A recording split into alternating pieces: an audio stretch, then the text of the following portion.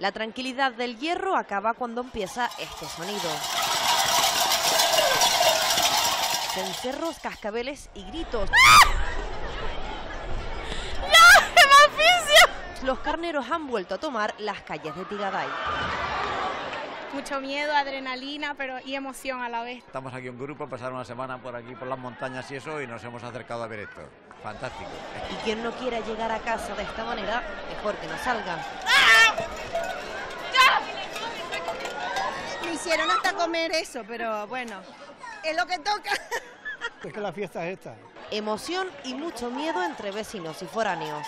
Demasiado está en reverde hoy porque hoy es el último día. Sí, un poquito de miedo.